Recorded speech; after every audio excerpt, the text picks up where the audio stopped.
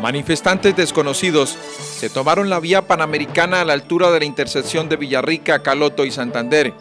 Allí se apoderaron del peaje que está sobre esta vía, el cual fue destruido y completamente incinerado. Las imágenes hablan por sí solas.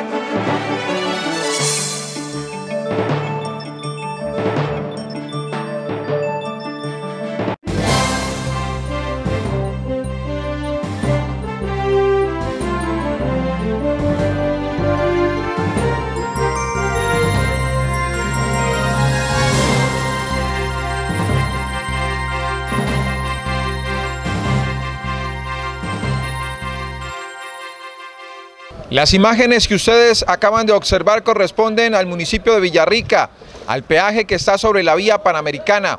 Las casetas quedaron completamente destruidas y las oficinas incineradas. Notinorte, actualidad y opinión en el lugar de la noticia.